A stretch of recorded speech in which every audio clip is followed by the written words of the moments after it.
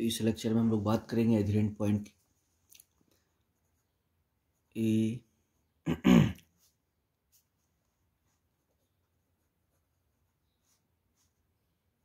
adherent point अभी क्या होता है? A point P belongs to R is said to be adherent point of a set A subset R if every NBD of P contains a point of A मतलब इसका कहने का मतलब ये है कि कोई भी पॉइंट जो है रियल नंबर में कोई भी पॉइंट जो है वो किसी सबसेट यानी आर के सबसेट का एथिरेंट पॉइंट कहलाएगी। कब कहलाएगी? अगर उसका प्रत्येक नेबरहुड जो है वो ए के पॉइंट को कंटेन करे, किसके? पी के। ठीक है? पी भी उस सेट में हो सकता है। ठीक है ना? तो लेकिन याद रखिएगा पी उस सेट में हो सकता है है ना? नहीं भी हो सकता है। लेकिन उसका नेबरहुड जो है, उस सेट में होना चाहिए। ठीक? इस बात का ध्यान रखिएगा। It is denoted by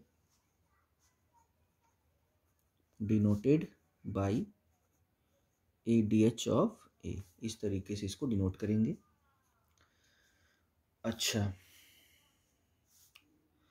एक सबसे बड़ी बात इसमें है, अगर मैं कोई सेट जैसे ले लूँ ए है ना? मैं लेता हूँ ए ए बराबर लेता हूँ मैं वन टू ये आर का सबसेट है, ठीक है?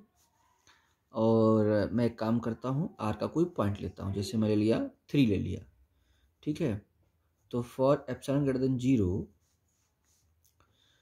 three minus epsilon three plus epsilon का ए से इंटरसेक्शन क्या होगा? फाइव होगा। क्यों फाइव होगा? क्योंकि थ्री तो इस सेट से, यानी जो सेट दिख रहा है आपको ना, इससे बहुत दूर का नंबर है, यानी बाहर का नंबर है, पहली बात। ठीक है? बाहर का नंबर है और उसका स्मॉल नेबरहुड यानी जो भी पॉइंट इस, जो भी पॉइंट आपने आर का सेलेक्ट किया है, उसका स्मॉल नेबरहुड ए में है ही नहीं। अगर मैं रियल लाइन पे इसको बनाऊँ this is one this is two and this is three तो थ्री का स्मॉल से स्मॉल रेंज का नेबरहुड इसमें है ही नहीं, आ ही नहीं रहा, है ना? तो यानी इसके साथ इसका कोई कॉमन पॉइंट नहीं आ रहा तो इसलिए थ्री इसका एधरेंट पॉइंट नहीं हुआ, ठीक है? अच्छा next two belongs to R ठीक है? Two does not belongs to A two A में है नहीं टू आर में है, अब देखिए क्या होता है। Two minus epsilon two plus epsilon intersection sorry intersection A क्या लग रहा है आपको? फाइव है? नहीं। क्योंकि two minus epsilon two plus epsilon तो टू माइनस एप्साइलन तो इसमें है ना? अगर मैं टू का नेबर लेता, two plus epsilon two minus epsilon तो ये वाला तो इसमें है ना? यानी क्या बोला गया? एवरी एनविड्यू ऑफ़ दैट पॉइंट, यानी जो पॉइंट है उसका प्रत्येक नेबरहुड उसमें कंटेन हो। पूरा नहीं तो कम से कम ये जो सेट ए है, इस, इसके नेबरहुड में से कम से कम एक पॉइंट रखे। तो एक पॉइंट क्या रखना बहुत सारे पॉइंट रख रहा है। टू माइनस एप्सिलॉन तो कंटेन कर रहा है, नहीं? मतलब नॉट इक्वल टू फाइव है। इसका मतलब टू जो है belongs to adherent of A यानी दो ए का एधरेंट पॉइंट है। उसी तरीके से वन भी ए का एधरेंट पॉइंट है। ठीक है? वन ऑल्सो भी एधरेंट है ना? एधरेंट में बिलोंग करेगा। और साथ में इसके अंदर का पॉइंट जो इसके अंदर का पॉइंट है वो तो है और उसके नेबर भी इस सेट में है। हमें बस इतना देखना है कि जो भी पॉइंट एधरेंट पॉइंट लेना है वो उसमें हो चाहे ना हो लेकिन उसके नेबर का कम से कम एक पॉइंट इस सेट में होना चाहिए। ठीक है? अब जैसे मैं एक सेट एक ए, अच्छा इसका मतलब ये हुआ कि वन और टू इज़ ऑल्सो ठीक है ना?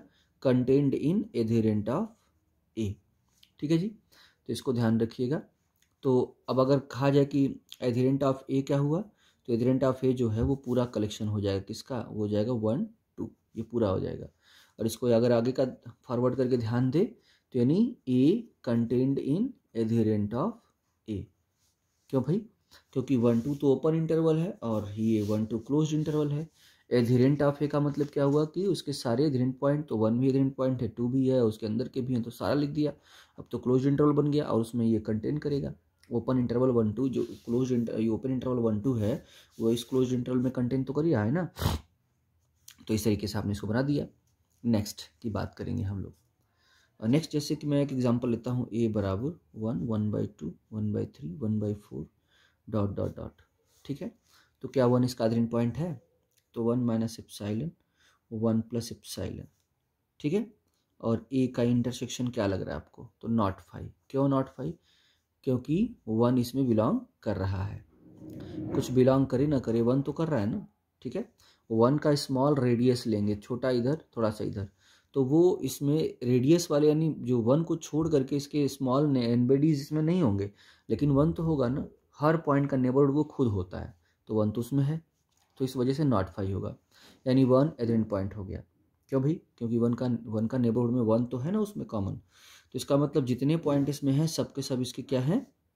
सबके सब इसके क्या हैं? जितने भी पॉइंट हैं, सबके सब इसके एजरेंट पॉइंट है। तो एजरेंट ऑफ़ ए में क्या आएगा? One one by two one by three one by four dot dot dot dot dot dot last में ज़ीरो भी इसमें आ जाएगा, जबकि इसमें ज़ीरो नहीं था। इसमें ज़ीरो नहीं था, लेकिन ज़ीरो एजेंट में आ जाएगा। क्यों आएगा? क्योंकि zero minus epsilon zero plus epsilon और ए का इंटरसेक्शन जो होगा, वो नॉट फाइव हो जाएगा। ठीक है तो इतनी सारी बातें आपके सामने रखा। अब नेक्स्ट नेक्स्ट वाला जो डेफिनेशन है वो लिमिट पॉइंट है। डेफिनेशन सेम है। A point P belongs to R is said to be said to be limit point limit point of a subset R if for epsilon greater zero ठीक है? या ऐसा छोड़ दीजिए इसको। If each N B D of P contains a point of A other than P इसमें एक word आ जाएगा अदर देन P यानी P का नेबरहुड प्रत्येक नेबरहुड A के पॉइंट को कंटेन करे, लेकिन P को P के अतिरिक्त। यानी आप P उस सेट में रहे चाहे न रहे। ठीक है ना? उसका नेब सॉरी मैं अभी गलत बोल गया। पी हाँ पी उस सेट में रहे, न रहे। उसका नेबरहुड आपको उस सेट में लेना है, ठीक है? और पी को छोड़ करके चेक करना है आपको। पी को ले करके नहीं चेक करना है, पी को छोड़ करके, पी को लीव करके छोड़ चेक करना है। ठीक है ना? तो जैसे मैं अभी आपको यही एग्जांपल ले लूँ। जैसे ए बराबर ए बराबर लिख दूँ one one by two one by three dot dot dot ठीक है? अब देखिए one minus epsilon one plus epsilon आप वन को लीव करके आप चेक करेंगे। भले ही वन उस सेट में है उससे नहीं मतलब है, लेकिन चेक करेंगे तो आप वन को लीव करके। इंटरसेक्शन ए ठीक है? इज़ इक्वस टू फाइव क्यों? क्योंकि वन ही तो एक मैच कर रहा था इसमें। उसके स्मॉल नेबर थोड़े मैच कर रहे थे।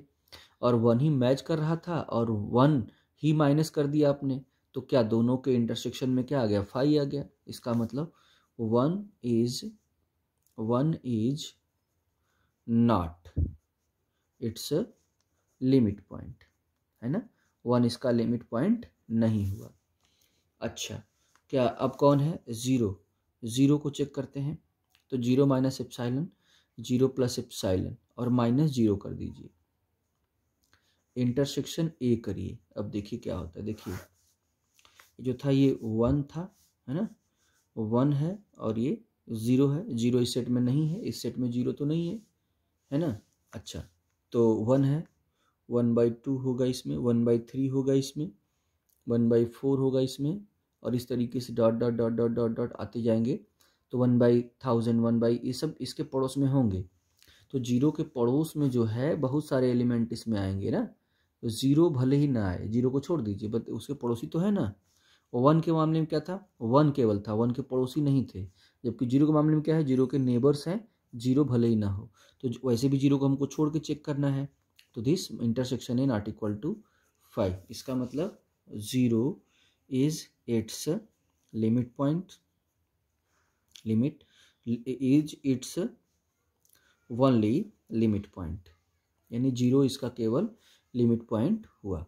ठीक है? इसको ध्यान रखिएगा। ठीक? अब आगे की बात करता हूँ मैं।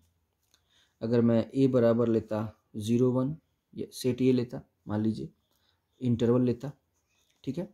तो zero minus epsilon zero plus epsilon और माइनस ज़ीरो यानी ज़ीरो को हटा करके इंटरसेक्शन ए क्या आता?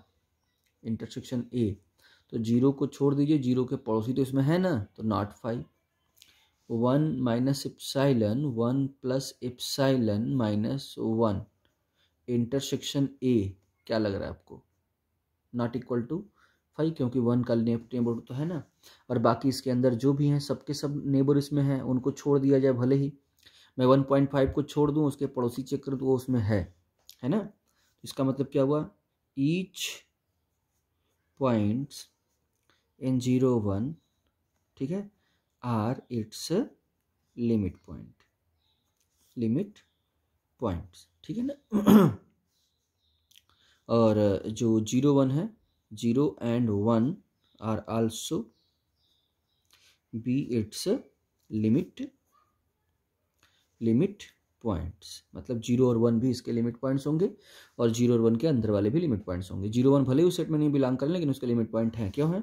क्योंकि ज़ीरो को छोड़ देते हैं भले ही छोड़ दीजिए, लेकिन ज़ीरो के पड़ोसी तो इसमें हैं। कम से कम एक एक नंबर तो मिल जाएगा। अरे एक क्या बहुत मिलेंगे, लेकिन मैं एक शर्त होती है ऐसी।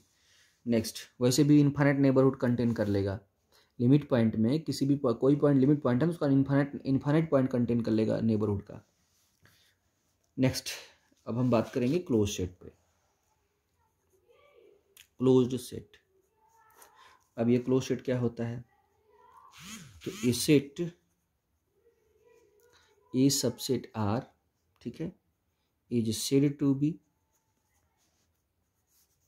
to be